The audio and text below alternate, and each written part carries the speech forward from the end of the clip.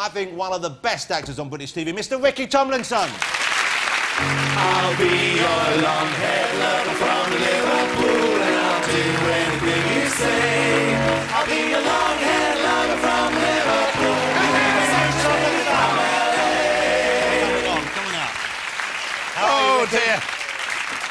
Well, well, thank you. Thank you for being here and thank you for hanging around. I know you've been uh, in the green room all evening there. I wouldn't have missed that for the world. Uh, can we, do you mind if we uh, get uh, a certain phrase that we love to hear you say? Can we get this out of the way early? Absolutely. My arse. Because then, now I can relax. Absolutely. It's- I was waiting here, and now I can take it easy.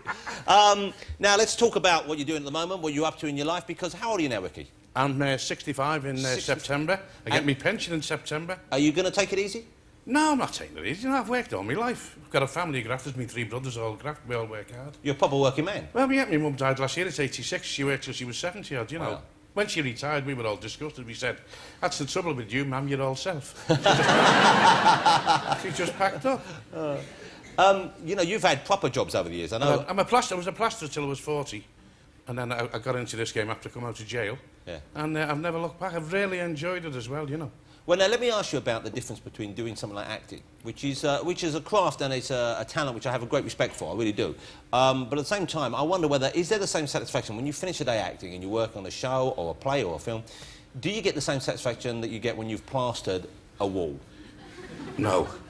You get a far bigger satisfaction. Do you know why? Because the bloody wages are different. I like that in this game, and in the Yeah. building game, they're crap. But I used to, uh, years ago, I did a little bit of labouring, I did a little bit of working, I did a bit of building. Believe it or not, I did. And I used to really like going home and knowing I'd done something successfully. Like, I once successfully put up some Gyproc coving. There, I say, eh? Now, that's quite a talent. Yeah, well, I can do that in the real. I can do that in situ here. Don't have to buy it ready-made. I can do it real. You can do the proper coving. Oh, absolutely. Yeah, you show off. Well, no, that's it, yeah. City and Guilds, man, eh?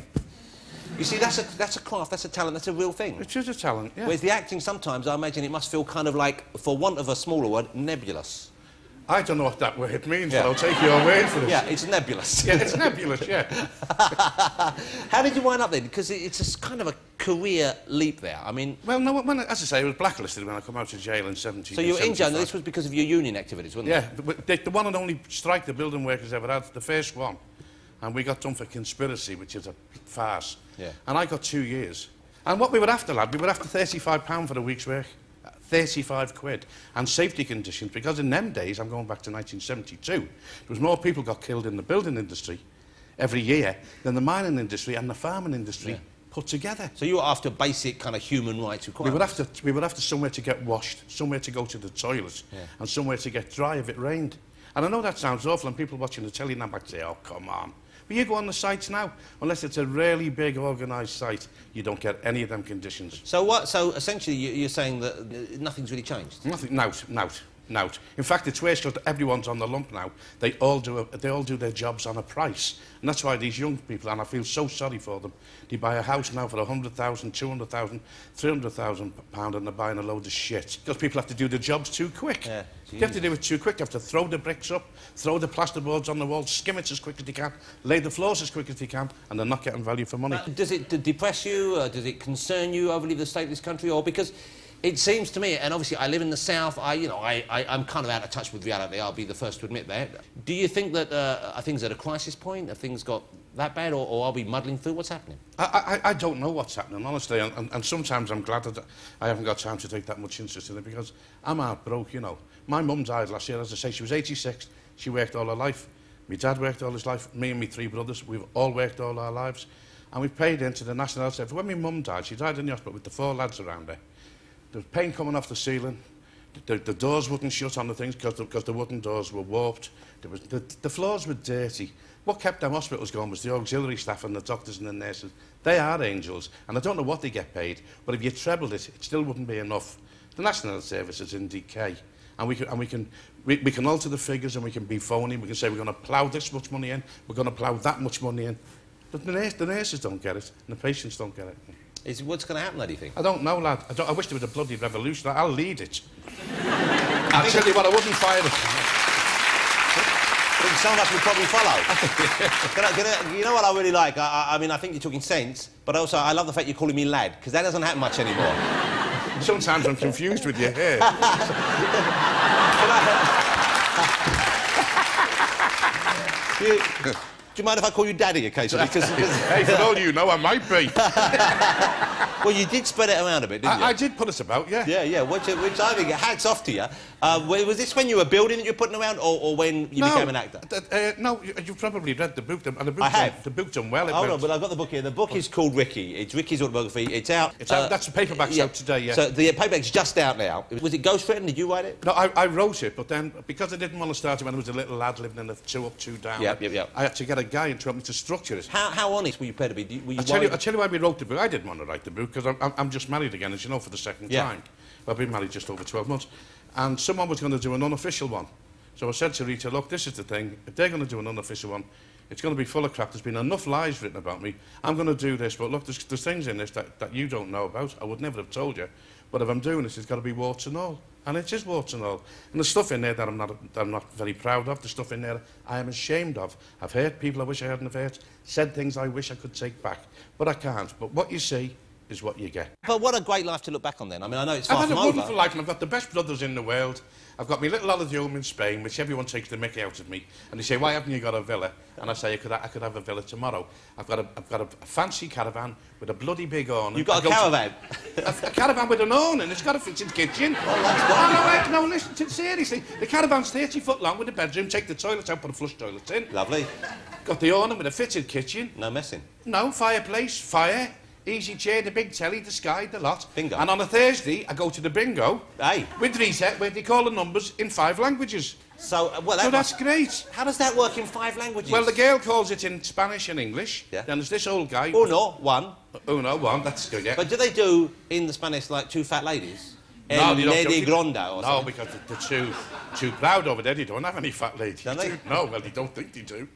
And then this old guy does it in German, French, and um, German and Dutch. Have you won much at bingo? Uh, uh, we won um, 100 and, 120 euros. That's not a lot, really. well, it wasn't because there were six of us sharing it. Those bloody Germans. I know, I know. That Dutch bloke leaving at the end. Are you all right? I'm on top I was going to give you the Heimlich then. I thought you had something stuck in your throat. The what? But come round the back and I was going to give you some of that. That's how it all starts. What's wrong with it? Um, Nothing. Hey, you started acting in the 80s then, okay? Yeah. So we've established this. Uh, uh, the big hit uh, of recent years has, of course, been The Royle Family. Absolutely, yeah. What a, what a great show to be part of. It was wonderful. Did you know when you when you first contacted? I mean, did you see it? Was it in script form or was it improvisational? Did you? I, I met Caroline to do at at one of the Royal Television Society dues, and she bumped into me, and I'd had a few drinks, and she'd had a few drinks, and she said, "Oh, I'm awful sorry, my dad, or you're going to be my dad." And I went back to Lisa and said, "Caroline, there." She said, "I'm a dad or something." I said, "You must have had more than I thought." but, but Caroline and you know, sometimes when I read the paper about myself and the people are slagging me and knock me, that's fine. It doesn't hurt anymore because my mum's dead. But when I, when I read the paper on the slagging her, I get so angry because she's the most wonderful human being you've ever come across in your life. She's brilliant. She's generous, kind, sincere, honest, and she can't do enough for anyone. She's brilliant. She's kind of managed to sort of, it seems, to have stayed out of the papers for a while. though. I mean, it's not been quite as bad, of Mm. course. So, uh, you know, I hope that whatever she's doing now, she's sort of sorted out. Yeah, and, and. She's happy. fine. Um, is there going to be another series, though? Because there were two I think there might be some one-offs. I know there was talk at one time about making a movie about we go on holiday Right. and we go in the caravan and we don't come out the caravan for the fortnight. and Jim looks out the window and says, "Look at that dopey bastard with his khaki shorts on. Get out!" But you don't go outside, so you, don't, you can't see anyone. But that's a brilliant idea. It's great, yeah. And you could use your caravan. No, uh, hey, yeah, but I have to do it in Spanish. Double bubble. No, you see. um, do- now, let's have a look. We've got a clip here of, uh, I think it's either one of the very early episodes, it might indeed be the first episode of The Royle Family. Uh, and it was, you're right, it's kind of fully formed the minute it, it came on the screen. This is Ricky in action way back when. Great show to. Real kind of team effort as well. It I mean, great. It was those- wonderful to go to work. Honestly, it was Yeah. great. You know. Um, do you uh, do you look after yourself? Do you uh, do you exercise? Do you eat right? Yeah, I eat as much as I can. Yeah. you got the gym?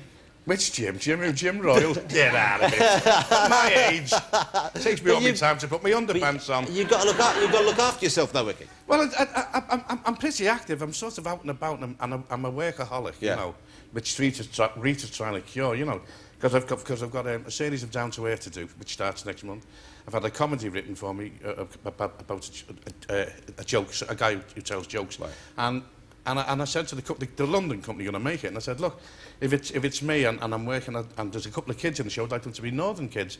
And good enough, they all came up to, to Liverpool and auditioned sort of 20, 30 kids off the street and picked six which were going down for a little screen test. So that'll be a little memory for them kids, and yeah. maybe one or two will get lucky, get the job and get into TV and acting like I did. That's nice. Yeah.